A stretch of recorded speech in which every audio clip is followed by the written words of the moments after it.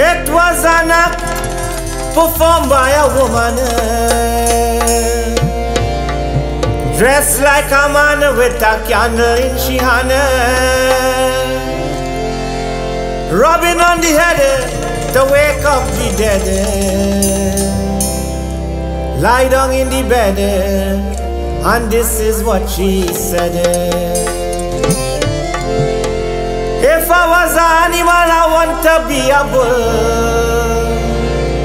I cock up my leg and I eat my belly full.